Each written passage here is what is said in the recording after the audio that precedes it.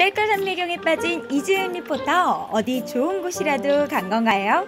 제가 오늘은 영월에 왔는데요. 이 영월에는 아름다운 자연과 또 슬픈 역사만 있는 게 아닙니다.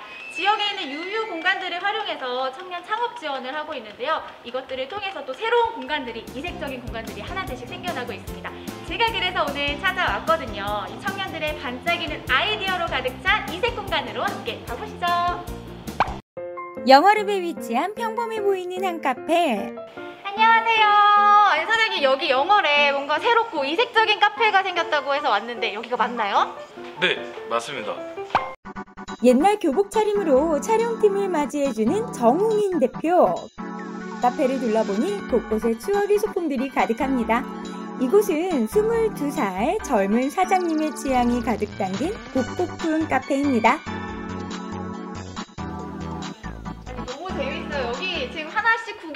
보니까 카페인지 박물관인지 모르겠다 이런 생각이 들 정도거든요. 진짜 오래된 옛날 잡지, 신문도 있고 진짜 신기한 게 저 처음 보는 껌정이들도 있어요. LP도 있고 아니 이런 걸 다 구입을 한 거죠? 네, 구입하고 이제 친구들 도움도 받고 와. 친구 아버지 유품인 것도 있고 그래요. 와 아니 진짜 이렇게 구경하다 보니까 타임머신 타고 여행 온 것 같다 이런 생각이 드는데 지금 LP 판들도 굉장히 많은데 이 복고하면 LP를 빼놓을 수가 없잖아요. 네, 저 LP로 음악도 들을 수 있는 거예요? 네 손님분들이 이렇게 보시다가 이제 원하시는 LP를 고르시면 저희가 들어드려요. 정말요? 네네네. 어 그럼 저도 들어볼 수 있을까요? 네, 네.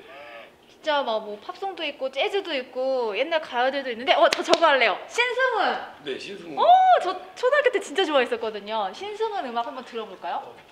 와. 신승훈 알아요 사장님? 아, 잘 몰라요. 잘 몰라요? 어떡해. 22살 사장님에게는 낯설지만 수많은 소녀의 마음을 심쿵하게 했던 신승훈.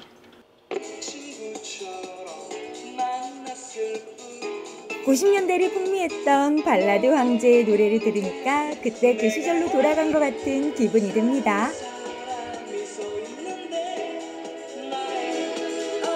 처음부터 너를 사랑했던 거야. 오, 너무 좋네요. 사실 이런 음악 지금은 뭐 휴대폰 하나만 있으면 쉽게 들을 수 있지만 이게 또 LP로 듣는 느낌은 다르거든요. 아, 이 아날로그 감성 너무 좋네요. 음악과 함께 떠나는 추억 여행은 여기서 끝. 여기에 지금 그 추억의 물건들이 정말 많잖아요. 네. 그럼 이걸 구하러 다닐 때 좀 재밌는 일도 많았을 것 같아요. 가장 이제 많은 소품들도 다들 이제 구하면서 이제 애정이 많이 갔는데 가장 이제 애정이 갔던 게 저 옛날 TV였어요.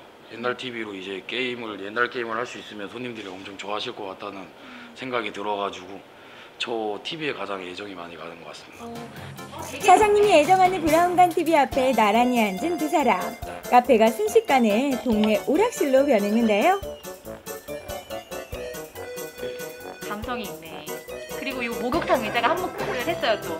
고전 게임과 함께 떠나는 동심 여행도 여기서 끝입니다. 왔는데 차도 한 잔 마셔야 하잖아요. 그래서 제가 이 따뜻한 커피와 또 이 카페에서 제일 또 맛있고 유명한 메뉴를 좀 시켜봤거든요.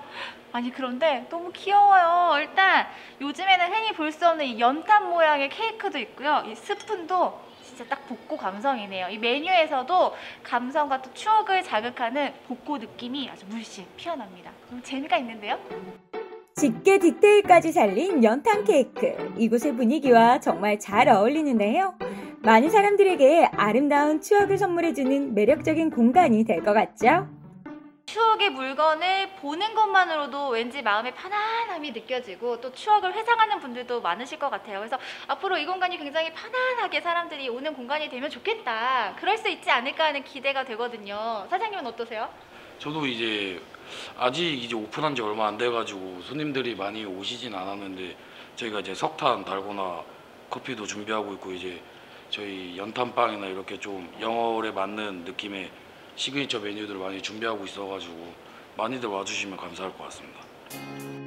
추억 여행을 뒤로 하고 향한 곳은 예쁘다. 확실히 여기는 조금 전에 만나봤던 카페와는 확실히 분위기가 다른 것 같아요. 뭔가 이 도시적인 느낌도 나면서 일단 저는 이 공간에 들어오자마자 굉장히 어, 따뜻하다, 편안하다 이런 느낌을 받았거든요. 어떤 곳인지 정말 궁금해집니다. 일단 대표님을 만나볼게요. 안녕하세요, 대표님. 안녕하세요. 영월 청년들로 구성된 사회적 협동조합의 김민영 대표입니다. 일단은 이 공간이 그동안 영월에서는 좀 볼 수 없었던 그런 느낌의 공간인 것 같거든요. 어떤 공간인지 먼저 소개 좀 해주세요. 네, 어, 이곳은 소통의 집이라고 하는데요. 어, 말 그대로 소통을 위한 공간입니다. 그래서 이곳을 찾으시는 분들이 의사소통을 좀 더 쉽고 편안하게 즐겁게 하실 수 있도록 다양한 장치들을 마련해 놓았습니다. 원활한 의사소통을 통한 지역사회 활성화를 위해 탄생한 소통의 집. 편안하게 이야기 나눌 수 있는 카페를 비롯해서 전시, 공연 같은 문화예술 프로그램을 통해 주민들이 서로 교류하고 소통할 수 있는 공간으로 운영되고 있는데요. 여기가 소통의 집이잖아요. 근데 소통을 위해서 또 특별히 준비한 게 있다고 들었거든요. 어디 있어요? 지금 소개해 드릴까요? 네. 과연 뭘까요? 아, 여기 있는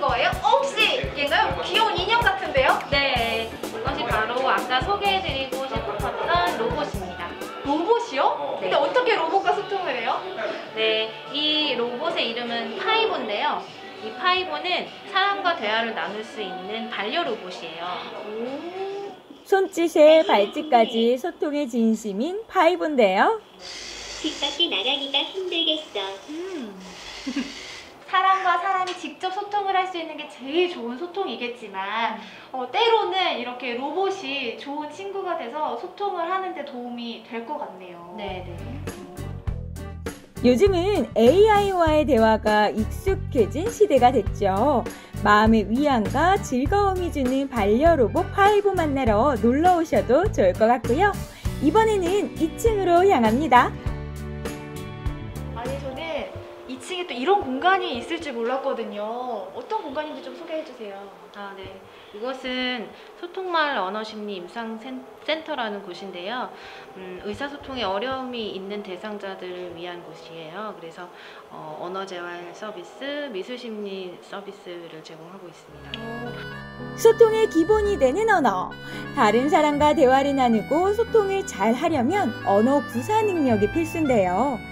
이곳에서는 의사소통 문제 해결을 위한 여러 가지 도움을 받을 수 있습니다. 사실 요즘에는 이런 어떤 작은 지역들이 좀 고령화가 되면서 청년들이 갈 데가 사실 많이 없었거든요. 근데 이런 공간으로 인해서 또 영월의 많은 청년들이 어, 편안한 쉼을 또 얻기 위해서 이곳을 찾지 않을까 싶거든요. 앞으로 이 공간이 어떤 공간이 되면 좋을까요? 음, 어, 말 그대로 사랑방이었으면 좋겠어요. 그래서 편히 들리셔서 커피도 드시고 문화예술 공연도 즐기시고 또 공통된 관심사에 대해서 이야기를 나눌 수 있는 그런 편안한 공간이었으면 좋겠고요. 어, 또 저희가 하고 싶은 일도 굉장히 많이 있지만 이곳을 찾으시는 이용하시는 분들이 기대를 가지고 계신 부분도 많이 있으시고 또 경험한 부분을 함께 공유해 주시면서 프로그램을 다양하게 만들어 나가는 것이 저희의 목표입니다. 복고의 매력에 푹 빠진 20대 카페 사장님부터 지역사회의 원활한 소통을 위해 의기투합한 청년들까지 그들의 도전으로 탄생한 공간들이 영월과 함께 성장하고 발전해 나가길 바라고 또 응원하겠습니다. 영월에 와서 이 청년들의 열정과 또 감각이 가득 담긴 특별한 공간들을 둘러봤는데요. 이런 기회들을 통해서 우리 지역에서 청년들이 설 자리가 더 많아지고 또 다양한 것들을 함께 공유할 수 있는 그런 공간들이 더 많아졌으면 좋겠다는 생각이 들었습니다. 그렇게 하다 보면 더 영원 또 즐거운 영월이 되지 않을까요? 저도 계속해서 응원하겠습니다.